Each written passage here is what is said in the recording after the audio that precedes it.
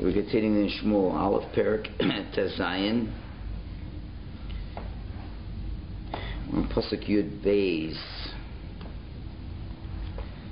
So now, Shmuel is telling Yishai, he's asking Yishai, don't you have another son? So now we, uh, so Pasuk Yud Beis, we're told the following. Vayishlach, and he sent, Vayibiyehu, and he brought him, he brings the youngest son. Uhu Admoni, and he's red. Imife Enaim, with nice eyes. Vitov Roi, and he's good looking. Vayomer Hashem, Kum Mishachehu Kizehu. Get up and anoint him, because this is the one. Okay, so let's see what the Malbim has to say. Some very interesting things. Buad Moni. So Rashi says this is this is the pasuk that really shows what Hashem meant when He told Shmuel that people look one way, look at things one way, and Hashem looks at things the other way. If you look at David, David is red. That means the attribute of red is very strong, meaning to say that uh, he's born under the planet of Mars, and he was a one who was very adept at, at spilling blood. So that's usually not, you know, such a wonderful attribute. On the other hand, there are also some good things about him. He has nice eyes.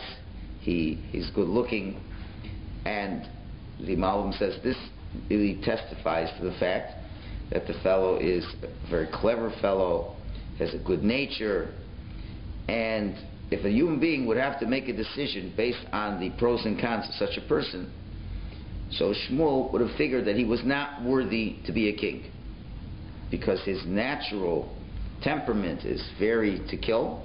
He would not be the one to be the king. But Hashem looks into the hearts and he knows that because he has those good eyes, that he will make the correct free will choices and to do things only based on what Hashem wants him to do. And even though he has a very bad temperament in terms of blood, that's, that's his nature, but he'll use it only to fight wars for Hashem and to destroy uh, the people that are bad people. And that's what Hashem wants. And even if a person has a tendency in his nature to do things that are harmful, but if the person has ultimately the control over that, because he'll make the correct free will choices, then that really is, is a wonderful type of person. So therefore, Shmuel on his own would not want to pick such a person. Uh, clearly, someone like that would, would, would, would be looking like an Esav Harasha type of figure. And yeah, an Esav Harasha had tremendous potential too, if we would have used it properly, but he didn't. So historically, somebody looking like this temperament would, would not be a good person to be the king. And Hashem saying, no, get up and anoint this fellow, Kizehu, because he is the one that I want. And that's exactly what the Medrash says. When Shmuel saw that he was red, he was afraid he's going to be a murderer like Esav. And Hashem says, but he has good eyes, he has nice eyes. When Esav did things, he did on his own. But when David will do things, he will do it with the permission of the Sanhedrin. And only when the Sanhedrin would give him permission to kill, he would kill. Okay, because that was the, the good part of the temperament that uh, the eyes would say, hang on, you know, I got to first speak to the Bezdin. And that's what Hashem says, go anoint him because he's the one. And the, the, Gemara says, Rav Shimon says, Ki zehu, zehu b'olam This is the one for this world, this is the one for the world to come. That even when he's in this world, his nature might be towards things of this world because he's red, but still in all, because of the overall good nature and his good seichel and his good free will choice, he's going to be a person's going to be an olam haba as well. Uh, one second. Uh, and that's why when it says that hu admoni, it says hu admoni, not ve yefeanayim, but im yefeanayim. In other words, it's, he's in that, it's not just he's red and he has good eyes. He's red with the good eyes, meaning the good eyes are what's going to control the red. And therefore, the violent nature within him will only be channeled in, in a way to destroy that which is evil. Yeah? So, so, so we're saying that God knows what his free will choices are gonna be down the road. Like he knows everybody's. That's fine. But then he also knew what Shaul's would be, yet oh, anointed him, and yet he was, quote, a failure. Yeah, but, yeah, because So God wanted him to? no, this was the one that the people wanted. The one that the people God wanted. said that to Shmuel, here's who you can anoint. Yeah, but th- this is the one based on what the people were looking for. This is the one for him. This is this is this is the one that's meant to achieve a certain amount. This is the Mashiach ben. Remember, this is Mashiach ben Yosef, Mashiach ben David. It's supposed to be someone like a Shaul for this. He was the best one they were going to find in that generation. They wanted a king, so this is the one. David would not be the one, the right one to be the first one. Shaul would have to be the first one. He was the best one that they had. It wasn't, and, and the truth was, it wasn't the right time to ask for a king. So this is what the people wanted. Hashem said, okay, this is the best you're going to get right now. This is the best you're going to get. The people aren't asking for a replacement, are they? Uh, because they don't know how bad Shaul is. But they're going to want to replace him as soon as Shaul dies. Right? Shaul is going to die. Hashem knows that. Right? And now it's not, it's not that, and that's what we said. Hashem saying, now it's not the people wanting a king, it's me wanting a king. This is going to be the king that I want now. Not the king that you wanted. And that's the difference. King that you wanted wasn't going to be a permanent king. King that I wanted is going to be a permanent king. So Shaul's only been king for what, three years? We don't know. Remember, we had a whole discussion about the years of Shaul and all this. We don't know how long he's the king. It's, it's, it's, it's not likely he was a king for only two years. He was a king for many more years. So we just don't know. That, that's the I'm problem. just struggling with, God knows he's gonna fail, yet he made him king. Well, it's, uh, Hashem gave Adam, uh, Adam Rishon the command not to eat Eitz. He knew he was going to fail. You know, Hashem has to lead, deal with us the way, you know, without, you know, in a way as if we don't know what's going to happen. And He gives us the free will choice. Gives us a free will choice. That's all. It, if Shaul would have made the right free will choices, then things would have worked out better. That's the way it always is. We can't, we can't contemplate. But when Hashem is telling him, this is the one I really want, and this is the one Hashem really wanted. David HaMelech was the king that Hashem really wanted. Because ultimately from him will come the final Mashiach, which will be true. So ultimately that is, that, with the mistakes and everything, that's the one.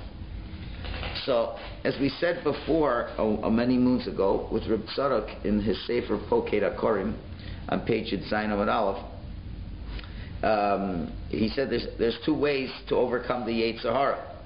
He says one way is we call the way of iskafia, is subjugating, uh, suppressing, vanquishing, like people like Eliyahu Novi, like the Mashiach ben Yosef. And then you have the opposite approach of ishapche, of turning it around and taking the Yetzer Hara and and use and, and sublimating it for the uses that you want, like David HaMelech. Uh, and the expressions that they use uh, from Chazal, he says, uh, it says that, that after, like the analogy of the Yetzer Hara, the Gemara in Sukkah says that when the Mashiach comes, the Yetzer Hara is going to be slaughtered. It's going to be slaughtered. So, what does that mean? So, you know, after you, you slaughter something and then the blood goes out, so to speak, you, you, you bleach out all the blood from the, from the being that is slaughtered, and that is totally uh, vanquished, and it is used properly. So when the Gemara says, you know, this is the thing, when the Gemara says the Yetzer Hara is going to be slaughtered, you can't take it literally. It's not to be taken literally. We're just going to kill the Yetzer Hara. That's not what it is. But rather, we, we vanquish it. And then we get the Yetzer Hara to be on our side. That's what happens. You just like when you slaughter something, it has blood, it's red, it's bad. Red is the bad color. But once you slaughter, you, you can spill out all the blood, and then the redness is gone, and so to speak, it's bleached, as it were, and now it is used for good things. That's ultimately what's going to happen before Mashiach comes. Not that there's no drives, we'll have drives. But the drive will now be owned by us in such a powerful way. And you know, the HRs, you know, whenever we do Averis, we do them with much more alacrity than mitzvos. And now we're going to, you know, take the HR with all its redeeming qualities, and as long as it isn't channeled in a bad way, it's able to do amazing things. That's b'chol levavcha. Serve Hashem with, both your hearts. So that is the way of ishapche, turning it over and changing the dynamic of it. And as we said, by Shaul, his name was Shaul, because Shaul comes from the word borrowed, and he borrowed the tactics of David HaMelech. David HaMelech had the ability to take something and turn it around. Shaul's mission was not to take something and turn it around. The real way he's supposed to do things is to destroy things. That's it. To suppress things. But he borrowed David's tactics, as it were, and uh, although he and he was although Shaul was a tzaddik, he was more apt to do iskafia, to suppress and vanquish, because he's the tzaddik. But uh, so therefore he made his mistake, as we said, and he said, "Listen, I could take bad things and make them into good," and that's why he took Agag and he let Agag survive because he figured, you know, I'll turn him because there was something good coming from Agag, and that was his big mistake. So the uh, to understand a little bit of a, a, a deeper level, just to understand exactly what's going on over here, is we know there's two basic aspects to the Hara. There is the aspect of taiva and the aspect of kina. You have lust and jealousy. So now, taiva uh, can be a good thing if it is uh, channeled l'shem shemaim. On the other hand, kina in general is, is just bad. So the question is, so what makes the taiva go wrong? The taiva goes wrong is when you use the taiva to pursue your own agenda which is really driven by kina. Because what's kina? Kina really, jealousy really, is you're placing your own self before others. And that's what makes you jealous of other people.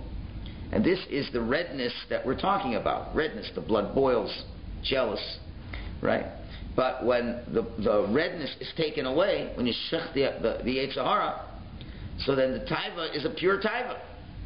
And then you have the taiva, will all be l'shem shemayim, and that's when you get pure chesed into this world.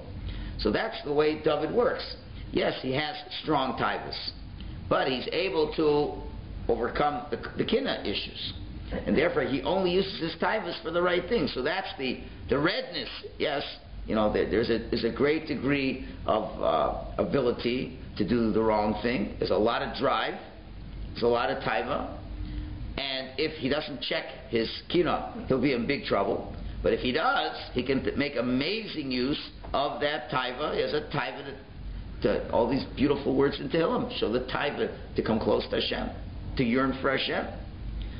So um, that was the, the, trick of David HaMelech. So just like the Gemara says, if the Yetzer comes to you, what do you do? You're supposed to schlep it into the beis medrash if the Yetzer was with a taiva, you take it to the beis medrash, you turn that taiva into something that will be for good. You have a taiva now to learn a daf Gemara, to understand Pshat in the Gemara. So Shaul uh, used David's tools, but wasn't able to use his tools properly. While David was able to use the tools in the, in the most beautiful way, and this really is the the theme of understanding how David HaMelech, even though on the surface does not look like the right man, if you're in Shmuel, if you're in Shmuel Anavi's uh, shoes, but if you're in Hashem's shoes, you definitely see somebody who, if, who will use those taivas in the greatest way, and that will also be able to pull people to become closer to Hashem. So that's, that's the understanding over there. Um, one second. I thought there was one more thing. I guess not. I guess it'll be a little later. All right, Pasuk Yud Gimel now. Vayikach Shmuel es Keren Hashemen so Shmuel takes the horn of oil, and he anoints him, the Kerevechav, amongst his brothers. Ruach Hashem El David. And the Spirit of Hashem now becomes strong in David from this day forward. And Shmuel gets up and he goes to Ramah. So, just uh, some simple uh, points first. Um, what does Bekerev mean over here? So the Malbim gives two interpretations. Bekerev, amongst. So on the one hand, he says, since this is a very holy act, he wanted to do it in front of 10 people. He wanted to be what we call Befar Hesha, wanted to be a public act. So you have Yishai, and you have his eight sons, and Shmuel, that's already a minyan, because you know, you don't have the Shekhinah unless there's 10 people there. And there's really going to be a, a Shekhinah transfer, as it were, going out to David HaMelech. So the Malbim learns it was Beker means amongst it. It should be a group, it's a publicized thing. However, the Abarbanel learns that he didn't want it to be such a pronounced thing. He read, really, at this point, wanted to be a secret, and therefore he learns Bekerev means from amongst, but not including everybody, and it was more of a private thing. So it's a machlokes here. Did everybody know the true nature of David Melech or not? Was it something that was more private, just between uh, Shmuel and David? And if, and if that's the case, uh, maybe even uh, you know people, even Yishai may not have known the real truth about David yet either. Or if you're learning like the Malbim that was said in front of them, then that became the great surprise that they found out. Now there are two things that are really, if you just look at this pasuk, incredible observations. If, if you notice over here, there there is one thing that is totally missing in this pasuk. If you just contrast this to to Shmuel's first time he met Shaul versus the first time that Shmuel is meeting David HaMelech. No. There's not one word spoken. Now, this is a very, very important event in Jewish history. This is the real king that Hashem really wants, is the one that is being anointed.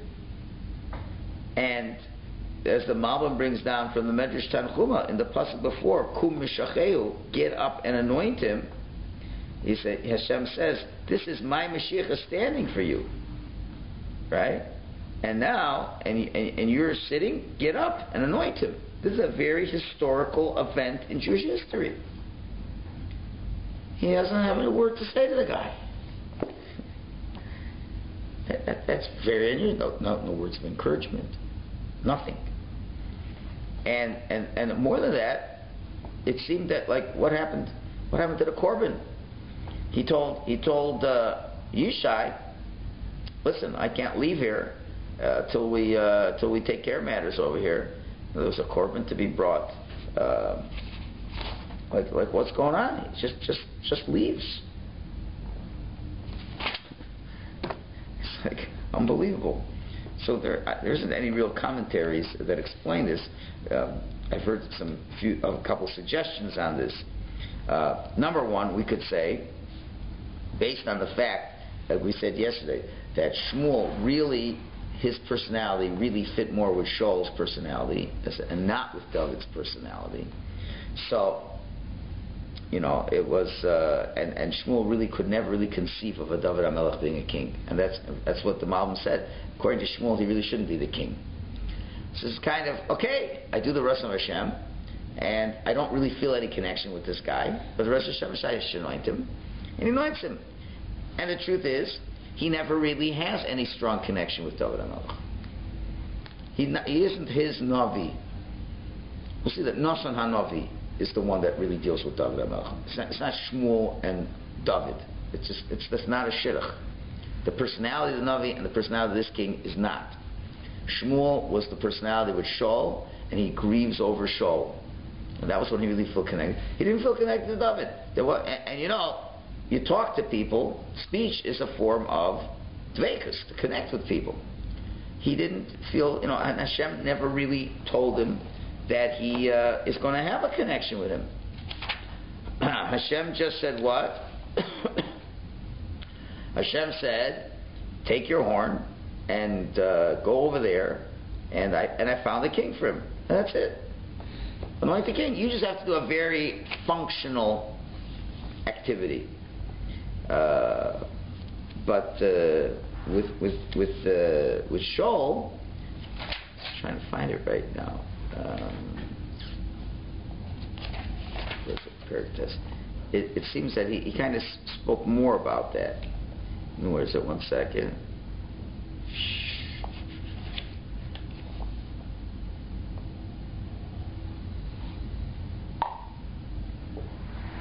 Yeah. It says uh, the day before, a Shaul uh, stumbled upon uh, Shmuel.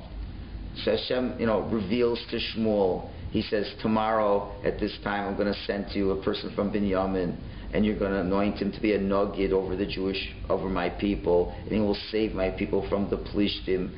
For I've seen that my people are crying out to me.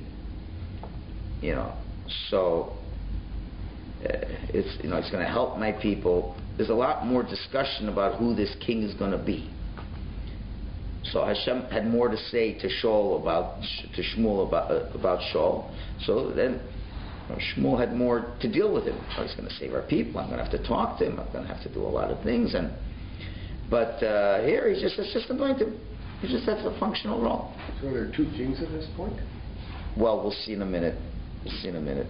Uh, we, we, got, we have one that is going to be, that is anointed, but, you know, still, you can't, you can't be the, the official king while there's another king around, but he's in place. You know, Shmuel had to anoint him, and David had to know that he is going to be the king.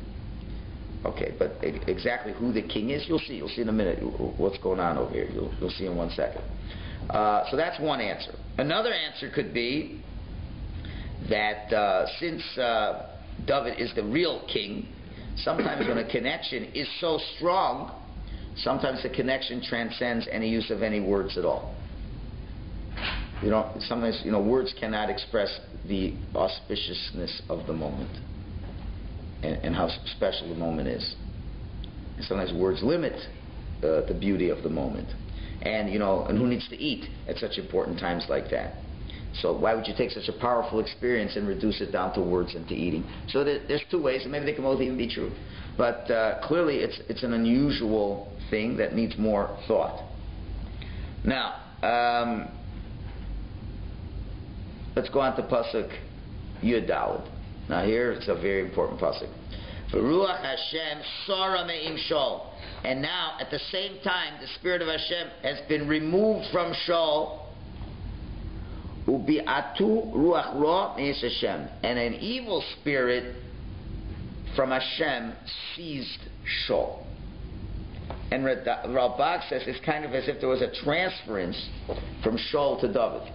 So Ralbag says in Pasuk uh, Yud Gimel, uh, the Pasuk before, he says, uh, that when the Spirit came upon David, so just the way Shaul, when he had the Spirit, was very successful, right? So Hashem kind of took that Spirit away from Shaul, and he now brought it to David. There's a transference, so certainly of the spiritual power, there was a great transference, and so for all for all effects and purposes, Shaul is now on the way out. But now the Malbim says something uh, very uh, powerful he says, what's this Ruach Hashem? He says, who his atzmus shefa ruchanius.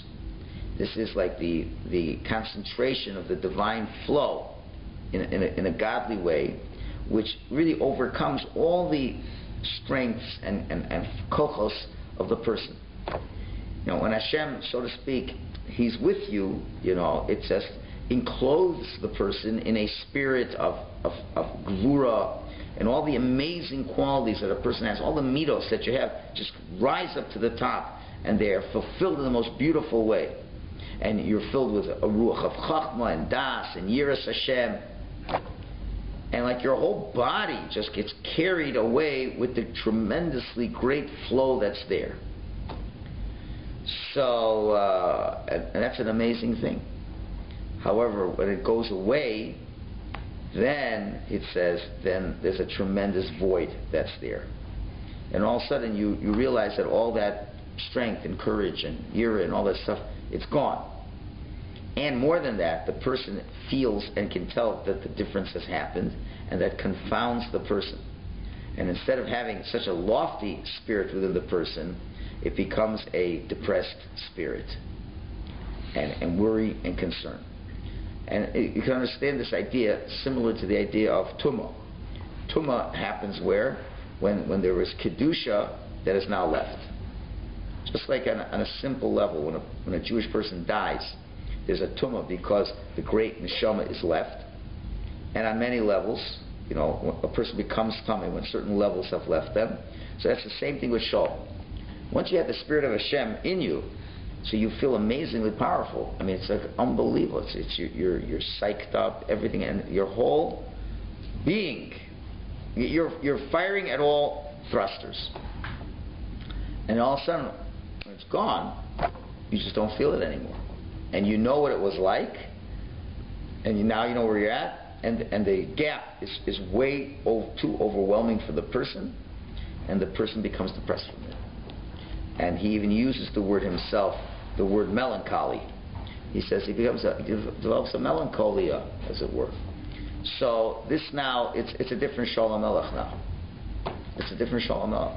Now, could be this is the answer to what we asked last week when Hashem said to, to Shmuel, "Go anoint David, go anoint a new king," and what was Shmuel's first reaction? Well, he's going to kill me. Well, how could he chayshit such a wonderful tzaddik like Shaul Melech? How could he suspect Shaul Melech is such a tzaddik that he would kill him?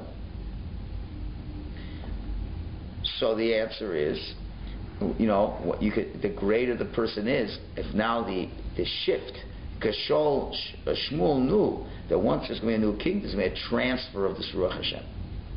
This Ruach Hashem is going to leave him. And that Ruach Hashem leaves him as great as he was, and, and it became even greater with the Ruach Hashem. Now when Shaul realizes Ruach Hashem is not there, he's not going to be himself, and he's, there's going to be such a void of spirituality, it will create a negative. It will create a negative in him, and he's going to be a violent man. As it was true. As you see, he will kill out the city of Nov really for no reason. For no reason at all. Why? Only because it was assumed that they were helping David HaMelech. It becomes irrational. And that's what Shmuel understood is going to happen. When he's going to find out that I have something to do with David HaMelech being the king, he's going to kill me. Which is not, and Shmuel's not so worried about himself, he's worried more about Shaul.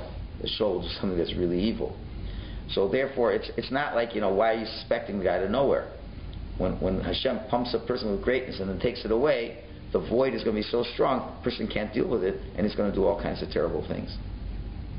And that's and that's what he was doing. I think that's that's that that is the emes of shot. He, he's not just being chesed b'chasherim anymore. The guy is no longer a kosher for a person to uh, to be trusted. So that that's where he's at. So is he responsible for his actions that respect? Yeah, because even when you're put over the challenge, you have to uh, overcome the, the, the, challenge. Hashem can give you these challenges. We're not saying he's mentally ill. You know, there's a lot of people who suffer. Here in the comments, he is. Uh, mentally ill? No, depressed. There are many people going around this world who can suffer from depression. And Hashem wants you to deal with it. Deal with the depression that you have. And, you know, don't kill people and don't sleep all day and not get out of bed. You have it. You have to, you know, deal with what Hashem's nisayon He's given you in the best way possible. Or in the best way for Shaul to deal with it could have been just to say, you know what, David, I'm not going to try to kill you. I understand that I can tell I'm not the king. I'll step down. Could have stepped down. But instead, he, he misreads everything about that. We'll have to see. We'll have to see how this all happens. But you know, okay, you're not going to be the king anymore. But there's a there's an honorable. There's no rule that said that a king has to be a king till the day he dies.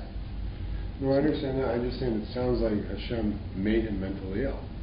Does it say mentally well, ill? Mentally ill. In the comment, it says here that. And, even, uh, and what does mentally ill mean? We're not talking. Tell their master that he's suffering from mental illness. That the servants of most rulers are afraid to tell their master that he's suffering from mental illness.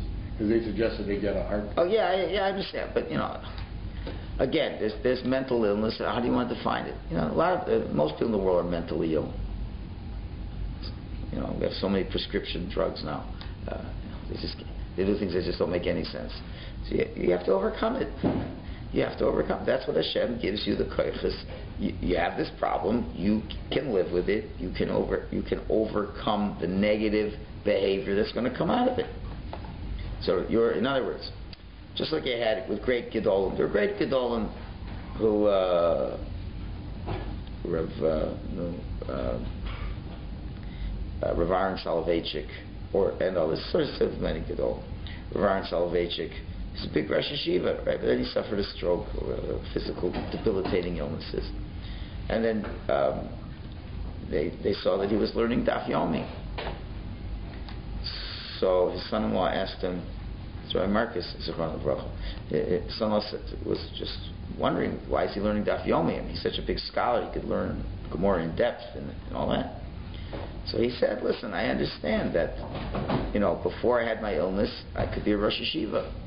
After my illness, I can't be a Rosh Yeshiva anymore. My mind is not the mind it was before. But still, I can learn Daf Yomi. Or Rav Pam, Zichron Bracha. Same thing, Rav Pam was Rosh Yeshiva. Right? But then when he got older and much more ill, he knew he couldn't run the yeshiva anymore. But instead, he knew he was a very holy man. And he could be a great figurehead to um, jumpstart many important tzedakah campaigns. And now he became more of a person going to parlor meetings and encouraging people to give tzedakah. That a far cry from you know preparing shiurim uh, to give in the yeshiva. So it's okay. I mean, I, I don't have the ability to be a Rosh Yeshiva anymore. You know, that's a, that's a hard thing. If a person was a Rosh Yeshiva for many many years, I mean, that's a very prestigious position, and it's much more uh, elevated than quote unquote, you know, being a fundraiser. Right? But great people, you know, he could have stubbornly said, I'm going to give this year, I'm going to still be Rosh Yeshiva, and he could have given shiurim that we're not, you know, of the quality he used to give, and, and, and deny the realities that he's in. And the guy said, listen, I have to come to terms with the fact that, that I'm not what I, what I was anymore. Hashem, Hashem has decided I have a different avodas Hashem. It's very hard for a person to accept that. Because a lot of people define who they are by what they were. And you can't. You can define who you are by what you are, not by what you were. So a great person will be able to overcome and say, okay, I'm no longer a Rosh Yeshiva. I will now help Klal Yisrael by being a fundraiser. And I'll be happy. I'll be happy with that. And and he still was a wonderfully uh, person of, of tremendous. The chesed of Rav Pam never left him always was a tremendous Baal Chesed. So I guess Hashem wants to spend much more time doing Chesed and less time learning Torah. Okay, that's the Ratzon. I learned Torah for 70 years, 75 years. Okay, now I'm going to be full-time Chesed. That's what Hashem wants. I got no problem. Shaul, you know, this this was the first. This could have been the first time in history where a person was had the rug, you know, just taken out from under him. You don't find Avram, Yitzchak, Yaakov, Yosef, Moshe, Aaron. Moshe was a leader till the day he died. Yeah, Hashem didn't, you know, a couple years before he did, you know, give, give him uh, uh, to forget his learning. And now Moshe had to learn to be a different person. Not Yoshua. If you think about it, who, who of the great tzaddik in the world did Hashem all of a sudden just say, you know what? All the great kochos you have, I've taken them away. And now continue to be a good Jew without your great kochos. Think about that. Was anybody like that? Not, not, nothing's coming to mind uh, right away. So Shaul was really given a, a, a, test that nobody was tested in before. So this you know, was a great opportunity for Shaul to teach the world what do you do when you no longer can do what Hashem gave you the abilities to do with in the beginning. And there was no guidance in this area. There's no guidance in this area. So he, he failed. And there's a lot to learn from his failure. There's a lot to learn from his failure. That when, when, when Hashem has changed your koiches, you have to realize, and you see a new budding star coming along, be willing to happily transfer the power and say, I will now be, you know, honorary king. David, you're the one. And, and, may, and things could have been a lot better. The two of them would have been together. Who knows? Could have much better results. But instead, they, you know, Shaul forced there to be an adversarial relationship between him and David, so he didn't have the, the success that could have happened from that. So a person has to be willing to, to realize when it's time to, to give up the power. Okay, Pasuk uh, Tesvav. Shaul. So now the servants of Shaul said to him, Hine no ruach Elokim ra'ah mevati meva'itecha. Said, whoa, behold, we see that, that, that a, a, a, a, divinely bad spirit is, is, is, uh, is seizing you, scaring you. So in other words, the servants realized this, and uh, they even told it to him. You know, you're not yourself, O, o king. So Yomerna Adonenu Avodecha Levanecha. So let our servants. Uh, uh, um, what, we should do is Yavakshu Ish. We would suggest that we should look for someone who can play a musical instrument. And when this bad spirit comes over you, then he game biyado, he will play. V'tov will be good for you. So, um, they, so the Malbim goes through the whole, you know, dynamics of the of this illness, and says that you know there is a, you can have help. You know, this is the, the first way to treat this type of depression is with music. Music is something that can help you to, to get back some of the good spirit that you had, to overcome this void. As we know the tremendous power of Nigun has. Nigun is a way to open up one's neshama. Your neshama is basically closed. Right? You know, had Hashem helping you make your make you more aware of your neshama, and that's great, and that's when all the great kochas come out. And if Hashem has left you, now it's very hard for those kochas and neshama to be expressed and realized. So we'll just uh, we'll have to find an artificial way to get it going, which is acceptable, and we'll get someone to play in front of you, and that music will bring out that spirit for you. So they understood this. That was to be. Now, who is this? Uh, who is this uh, servant? Who is uh, the servant? So the Rashi tells us this is Doeg Hadomi. This is Doeg. We'll see much more about Doeg. So. Uh, Pasuk inside. Vayomer Shaul up. So Shaul said, okay, Ru'un Ali, show for me, Ish Meitiv Lanagain, Vavios Sam Eloi. Get somebody who, who, knows how to play and bring him to me. Sounds like a good idea. Um, now, it's interesting that they only suggested that you find anybody just a good musician. That's it. But Shaul wanted more, says the Malbim. He says, you have to find a guy, not only, you just can't pick any minstrel to play before me and to play music to make me feel better. It's got to be a person who really is a very spiritual person as well. A person who, who, who is a well-rounded spiritual individual who is deserving of being in, of me being around such a person. You know, you could, you know, there's a lot of musicians, you know, uh, look at the people now who are the musicians of the world, the great musicians they're the lowest of the low. And Shaul Melech still was a tzaddik. He says, You're going to bring me a musician who's, who's, a, who's a scum? He can't just be a musician. It's be a guy who can play. But you, guy's tzaddik. Can't just be anybody. So fine. So now I have to look for somebody like that. Uh, that's what it means that, uh, yeah. Yuches. Vayan echad me'anarim. And one of the, the, the youngsters, as it were, responded. That's Doeg. The says, Hinera isi ben liishai beis alachmi. I see a son to Yishai from the house of Beis Lechem.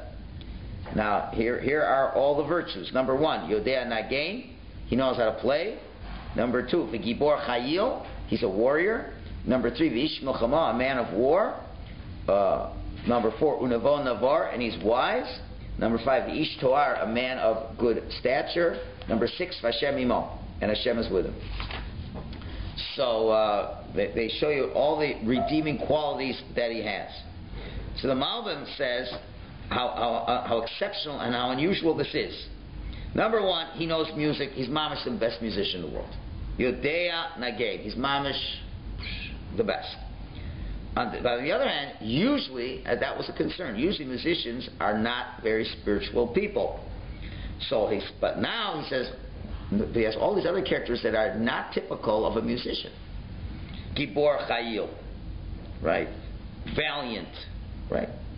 Usually, usually musicians are weaklings, right? Very weak constitutions.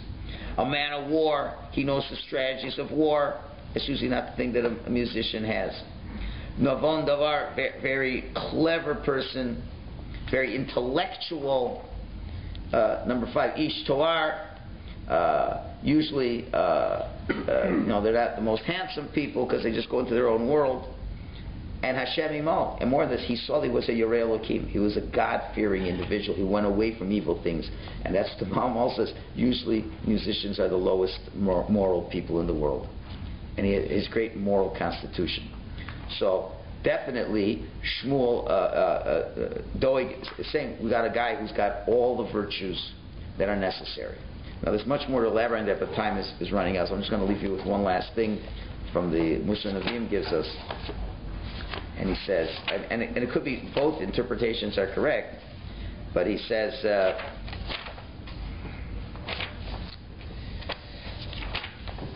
he says like this. I saw him. He says this whole pasuk was doeg and was all lashon hara. It was all lashon hara. Why? Uh, that first of all, he says he knows how to play, right? Uh, so he's somebody, meaning to say that somebody that people know how to ask questions to. Gibor, someone knows how to give answers. He, he's, a, he's a guy who knows how to ask questions. He knows how to give good answers. A man of war, he knows how to fight the wars of Torah. V'navon davar, he understands one thing from another. Ish toar, he shows beautiful shine in halachas. Hashem imo, and Allah is like him in every place. In other words, this whole pasuk was interpreted what kind of scholar he is. Much greater scholar.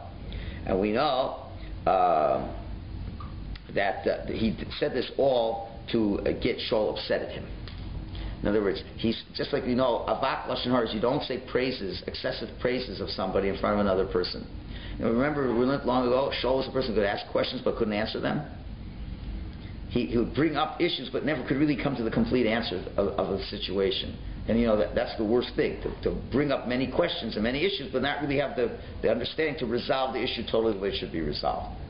So, in other words, when it came to Allah, David HaMelech, Allah was always like him. He's like an unbelievable guy. So that that's the Ra, because you know Doeg was a big advisor. You know Doeg, whatever, was tight with Shaul. He knows, he can sense that Shaul's going to go on the way down.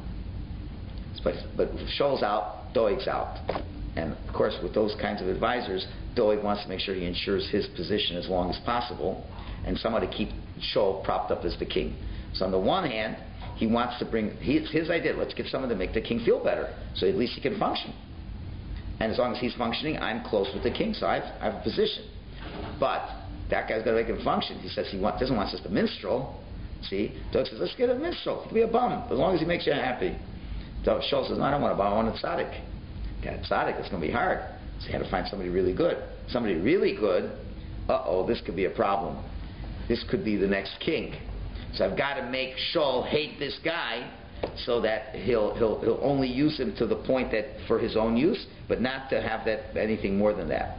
So therefore, you already can begin to see the pieces coming to play in place here where Doeg is the one ultimately who always makes all the trouble for Shaul. And, and, you know, you are as good as your advisors are and how well you listen to those advisors. And he had a lot of, and Doeg would always tell Shaul the things he wanted to hear.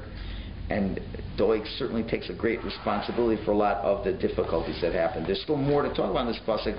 We'll continue this